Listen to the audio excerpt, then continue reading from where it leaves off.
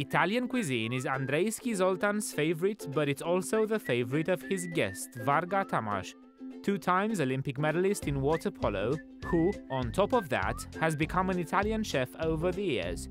Of course, they are going to cook two boneless fish dishes this time as well, to the fish lovers' joy. Fish Lovers Kitchen with Varga Tamás on the Fishing and Hunting channel.